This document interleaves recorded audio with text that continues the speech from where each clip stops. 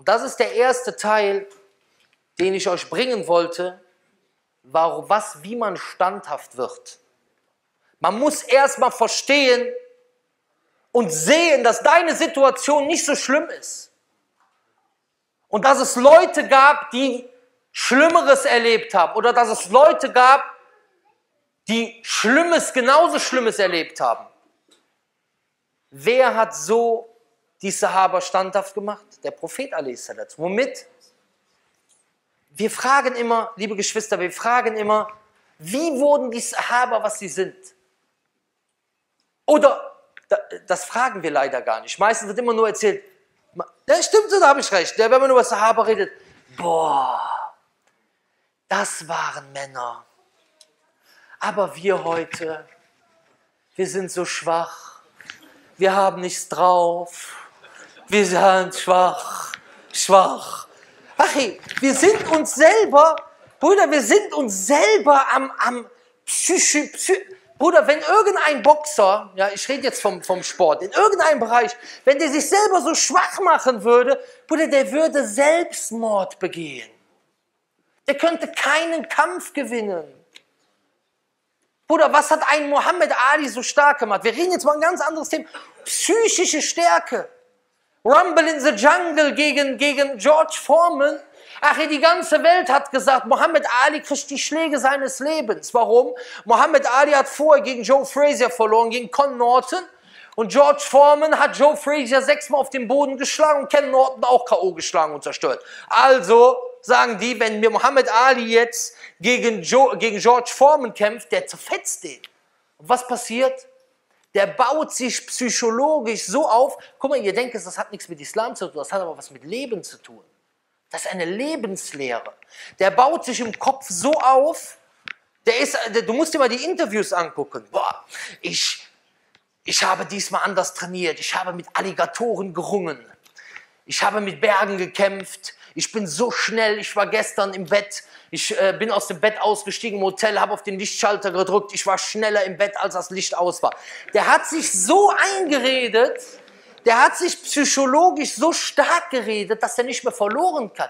Brüder, der Sieg fängt mit deiner Willenskraft an. Brüder, jeder, ihr denkt jetzt, das hat nichts mit Islam zu tun. Doch, da, weil Islam ist Leben. Islam ist Realität. Wir können nichts erreichen, wenn wir uns immer so selber reduzieren und selber kaputt reden. Wir müssen Selbstbewusstsein haben. Brüder, wir haben jemanden, der mit uns ist. Allah. Was will dir da noch passieren? In Tansurullah. Wenn Allah euch hilft, wenn ihr Allah helft, wird er euch helfen. Was ist, wenn Allah dir hilft? Wenn Allah euch hilft, kann euch niemand überwältigen.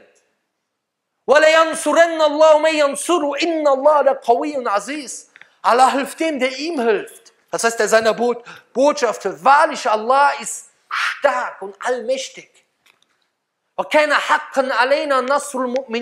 Ist unsere Pflicht, den Gläubigen zum Sieg zu verhelfen.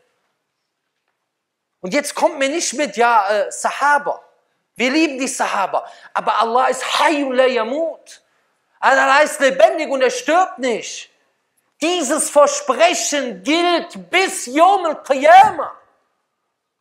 Deswegen sage ich dir, wenn du heute hier rausgehst, hebe deinen Kopf hoch. In Tansurullah yansurkum. Wenn ihr Allah helft, Allah wird euch helfen. Dieses Bewusstsein muss in dir drin sein. Von deiner Zehspitze bis zu deiner Haarspitze. Allah wird diese Religion nach vorne bringen. Mit dir oder ohne dich. Aber du musst dabei sein. Brüder, ich möchte euch aktivieren. Ich möchte einen Funken aus meinem Herz in euer Herz hineinbringen. Ich möchte mit einem Schneeflocken kommen, der zu einer Lawine wird. Ich bin nicht hingekommen, um zu essen. Ich bin nicht hingekommen, einfach um Spaß zu haben. Da wäre ich zu Hause geblieben. Ich bin nicht hingekommen, aus einem Buch vorzulesen. Ich bin hier hingekommen, um euch dieses Bewusstsein mitzugeben. Brüder, wir sind der Teil einer großen Bewegung. Ob es dem Verfassungsschmutz gefällt oder nicht. Die können zumachen, was sie wollen. Die können platt machen, was sie wollen. Die können noch 260 Mal bei uns einfliegen. Wir sind bereit. Und wir tun denen keinen Gefallen, dass wir gegen irgendein Gesetz verstoßen, Alhamdulillah. Brüder, das ist das Erste, was wir verstehen müssen. Warum waren die Sahaba so stark? Die Geschichten der Sahaba sind keine Geschichten, die wir erzählen, um uns zu wundern und um uns selber schwach zu machen, sondern du musst die Geschichte hören und sagen, ich will so sein wie die. Auch wenn du ihre Huld, ihren Fadel nicht erreichen wirst, aber du musst das wollen. Du musst sie dir als Vorbild nehmen. Das ist nicht gekommen worden zur Zeitvertreib, Geschichten, um zu sagen, boah, boah, das waren Zeiten, ja. Lass mal Barcelona gegen Bayern München gucken. Ach, die Geschichten sind gekommen. Das heißt nicht, dass man keinen Fußball gucken darf. Ich will damit sagen, ja, die sind dazu da, dass wir uns ein Beispiel nehmen. Aber jetzt, was hat die Sahaba so stark gemacht? Sie hatten den besten Lehrer und den besten Lehrplan. Sie hatten den besten Lehrer und den besten Lehrplan. Und dieser Lehrplan, der die Sahaba so stark gemacht hat, der ist bei uns. Der Koran und die Sunna und die Sira und der Prophet wassalam, der ist vielleicht nicht bei uns mit seinem Körper, aber der ist bei uns mit seiner Lehre. Es gibt kein Leben, von irgendeinem Menschen, das so minutiös, detailliert, Detail für Detail aufgezeichnet wurde. Das heißt, wir müssen diesen Lehrplan nehmen. Eine Sache, die die Leute standhaft gemacht hat, war, was habe ich gesagt? Dass sie auf andere geguckt haben, denen es schlimmer ging. Wie? Durch den Lehrplan des Propheten im Koran. Im Koran, wenn du davor bist einzubrechen, ja, dann denke an Nuh a.s. أعوذ بالله من الشيطان الرجيم رب إني دعوت قومي ليلا ونهارا فلم يزدهم دعائي إلا فرارا وإني كلما دعوتهم لتغفر لهم جعلوا أصابعهم في آذانهم واستغشوا ثيابهم وأسروا واستكبروا استكبارا ثم إني دعوتهم جهارا ثم إني أعلنت لهم وأسررت لهم إسرارا فقلت استغفروا ربكم إنه كان غفارا Überleg dir das mal. 950 Jahre ruft ein Prophet nicht nur ein Prophet, einer der größten Gesandten von Ulul Azam. Ibrahim, Nuh, Ibrahim, Musa, Isa und Muhammad. Einer von, wassalam, einer von den fünf Größten, der Weisheit besitzt, ruft 950 Jahre mit Weisheit, mit Beweisen zu Allah und was machen die? Die stecken sich die Finger in die Ohren.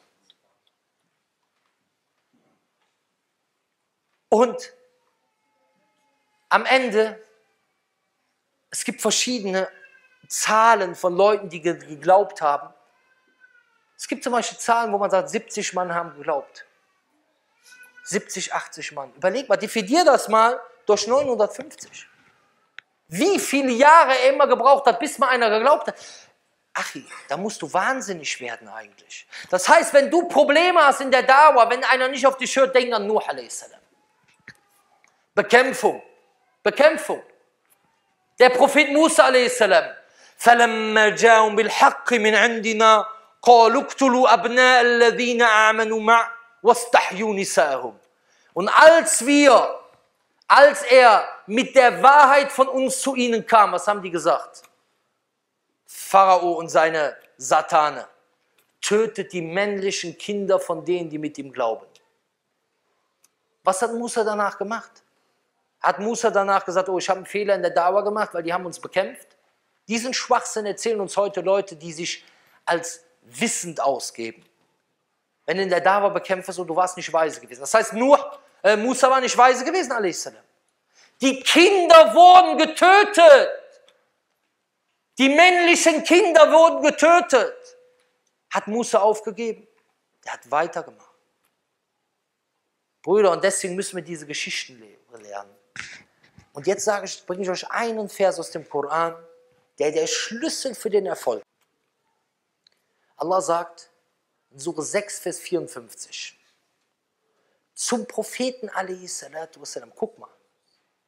وَلَقَدْ كُذِبَتْ رُسُلٌ مِنْ قَبْلِكَ Vor dir sind schon Gesandte der Lüge bezichtigt worden. Erste Frage, warum sagt Allah das zum Propheten? Er sagt das, um ihn zu trösten. Brüder, dem Propheten a.s. hat das wehgetan, wenn die Menschen nicht geglaubt haben. Deswegen wird so oft im, im Koran erwähnt, lass dich nicht traurig machen, lass dich nicht traurig machen. La tahsan alim und so weiter. Brüder, viele Stellen hier. Das heißt, Allah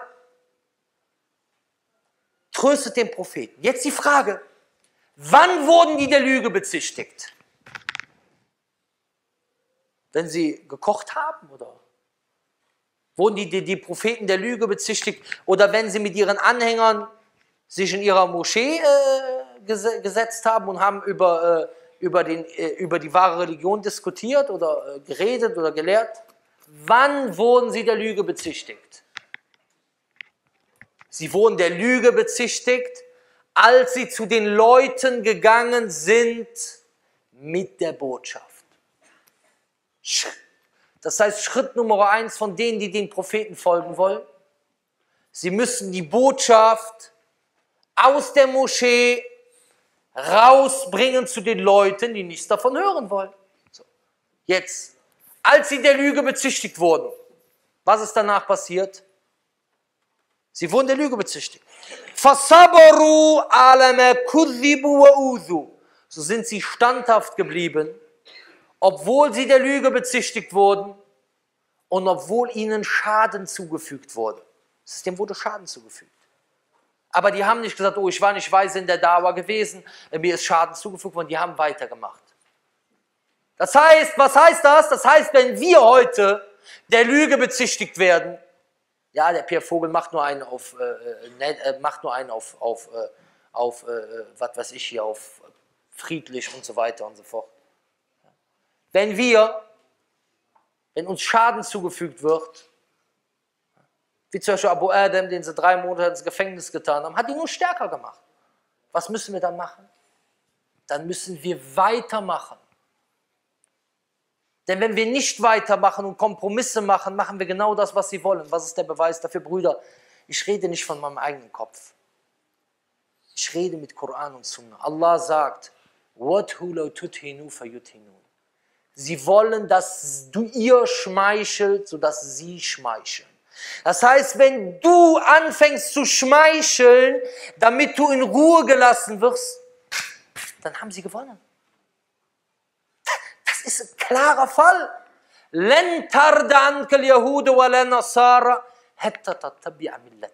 Juden und Christen werden erst mit dir zufrieden sein, wenn du ihrem Weg folgst. Das heißt, jetzt kommen Leute mit der Lösung. Die Lösung ist genau der Verlust. Die Lösung ist genau das, was sie wollen. Ja? Ist genau das, was sie wollen. So. Das muss man verstehen. So. Bis wann sind die standhaft geblieben? Jetzt hört zu, hört zu. Bis wann sind die standhaft geblieben? Hätte Atam Nasruna, bis unsere Hilfe zum Sieg zu ihnen kam.